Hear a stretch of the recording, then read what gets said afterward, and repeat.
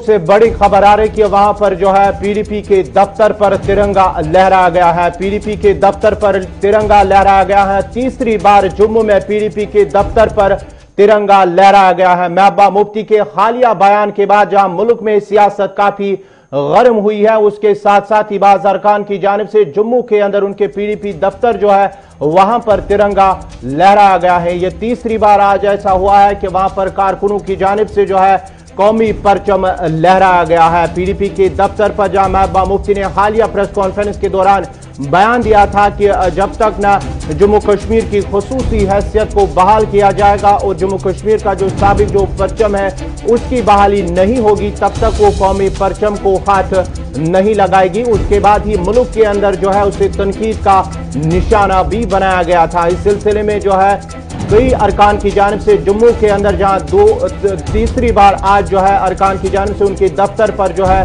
कौमी परचम लहराया गया है। आज जहाँ भारतीय जनता पार्टी की जानब से एक्सेशन डे भी मनाया गया है सिलसिले में जो है तिरंगा रैली का भी अहतमाम किया जा रहा है। इस खबर पर मजीद बात करने के लिए हमारे साथ जुड़ चुके हैं पीपल्स डेमोक्रेटिक पार्टी के chief spokesperson Suhail Ahmad Bukhari.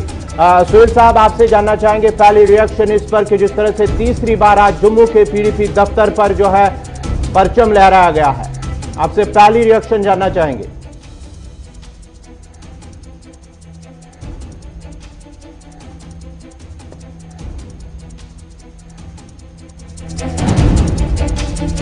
PDP दफ्तर जम्मू के अंदर जहाँ कई कारकुनों की जानब से रैली के दौरान उनके दफ्तर पर तिरंगा लहराया गया है। ये तीसरी बार ऐसा हुआ है कि जम्मू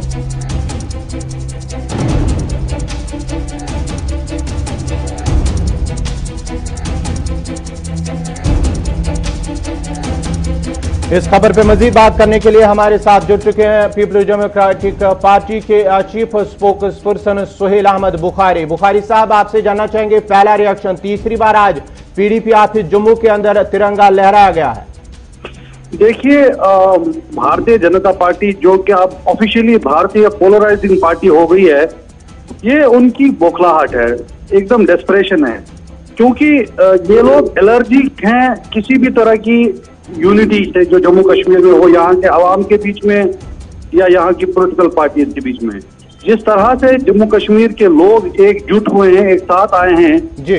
उस गलत असंवैधानिक फैसले के खिलाफ जो दिल्ली ने हमारे सिर पे थोपा हुआ है और ये साफ़ कर दिया है यहाँ की जनता ने यहाँ की पोलिटिकल पार्टीज़ ने हमें ये सब कबूल नहीं है और हम इसके खिलाफ संवैधानिक लड़ाई लड़ेंगे। तो ये बौखला गए हैं। और ये सब पब्लिसिटी स्टंट के तो खैर ये लोग माहिर हैं। वरना आप मुझे बताइए कि जो लोग तिरंगे से जूता साफ़ करते हो अपना तिरंगे से अपना पसीना पहुँचते और पचास बावन साल लग जाए इनको आरएसएस हेडक्वार्टर पे तिरंगा झंडा चढ़ाने में उनकी क्या मॉरल अथॉरिटी या क्रेडिबिलिटी हो सकती है कि वो किसी को ये कहें कि जी भाई साहब आपने तिरंगे का अपमान किया है? यदि तथ्यों की बात करें फैक्ट्स को देखें तो इनके पास कुछ है नहीं कोई मॉरल अथॉरिटी नहीं है। और साथ ही ये भी फैक्ट है कि हमने तिरंगे का अपमान नहीं किया है बल्कि हमने उस कॉन्स्टिट्यूशन की बात की है उसकी बहाली की बात की है जो। तिरंगे को वो रिस्पेक्ट दिलाता है जो उसे है। तो चूँकि इनके पास तर्क नहीं है कोई आर्ग्यूमेंट नहीं है लॉजिक नहीं है और इनका काम ही यही है कि लोगों से लोगों को तोड़ा जाए उनको दूर किया जाए तो ये हथकंडे अपनाते हैं। अदरवाइज़ जैसे कि मैंने कहा सबसे पहले तो उनको इस चीज़ का जवाब देना चाहिए कि जो घिनौनी हरकत इनके एक सीनियर लीडर ने की है उस पर इनका क्या कहना है? जिसने हाँ, साहब जिस तरह से अगर हम बात करेंगे महबा मुफ्ती की तरफ़ से जो बयान तिरंगे को लेकर किया गया है जिसके बाद ही मुल्क के अंदर जो है मुख्तलिफ़ लीडरान की जान चाहे हम रविशंकर प्रसाद की बात करेंगे मुख्तार अब्बास नकवी की बात करेंगे उनकी जानब से भी जो है उसे तनकीद का निशाना बना गया। कहीं ना कहीं हम मानते हैं कि महबाब मुफ्ती की तरफ़ से जो बयान दिया गया है उसमें कहीं गलतियाँ जिसके बाद ही जो है पूरे मुल्क के अंदर सियासत काफ़ी गर्म हुई है।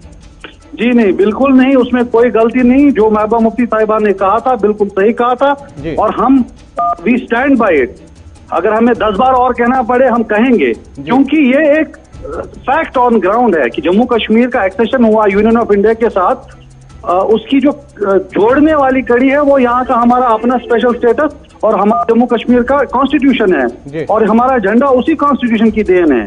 अगर आप उस लिंक को निकाल देते हैं यानी आप उस झंडे को बीच में से निकाल देते हैं तो जो सीढ़ी थी जम्मू कश्मीर से तिरंगे की उसको कहीं ना कहीं आप कमज़ोर कर रहे हैं।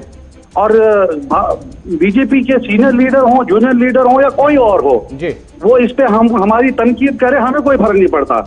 क्योंकि जहाँ तक सच के साथ खड़े रहने का मामला है हम उस पे डटे हैं चाहे हमें उसमें कितनी कठिनाइयों का सामना करना पड़े चाहे कोई हमें उसके लिए निशाना भी बनाए। चलिए, बहुत बहुत शुक्रिया सुहेल बुखारी साहब, आपका ये थे पीडीपी के तर्जुमान आला सुहेल बुखारी जो बात कर थे, जिनका मानना है कि जो महबा मुफ्ती ने बयान दिया, उसमें कहीं गलती नज़र नहीं आ रही है। ताहम ये पीडीपी जो बीजेपी की जानब से जो है, इस बार पीडीपी ऑफ़िस जम्मू के अंदर जो किया जा रहा है जो दीगर, इसमें बीजेपी और दीगर तंजीमों के कारकुनान जो मौजूद है, जिन्होंने पीडीपी ऑफ़िस पर जो है तिरंगा लहराया। तीसरी बार ऐसा हुआ है कि पीडीपी की जानब से जो है उसे तनकीद का निशाना मुल्क भर के अंदर बताया जा रहा है।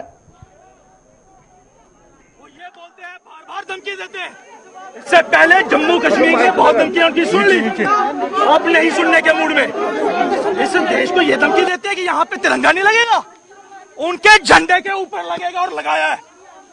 जब जब क्वेश्चन करेंगे तब तब उनकी छाती में लगेगा। क्या कहना चाहेंगे राजनेताओं को आप? उनकी राजनीतियों को यही अपनी राजनीति करिए। डेमोक्रेसी है, पूरा हक है। आप कुछ भी बोले, हम विरोध नहीं करेंगे। आप इस देश के संविधान को चैलेंज करेंगे। आप इस देश के झंडे को चैलेंज करेंगे। तो फिर आपके लिए बहुत खतरनाक होगा। ये आपको समझ जाना चाहिए। जम्मू कश्मीर का युवा जान चुका है, घाटी का युवा भी जाग चुका है। आपने घाटी में कश्मीर में छोटे छोटे बच्चों को मरवा दिया। लाशें गिरवा दी बच्चों की। क्या चाहते क्या आप? आप तो जागिए, होश करिए। जम्मू कश्मीर को अपनी डेवलपमेंट में बढ़ने दीजिए।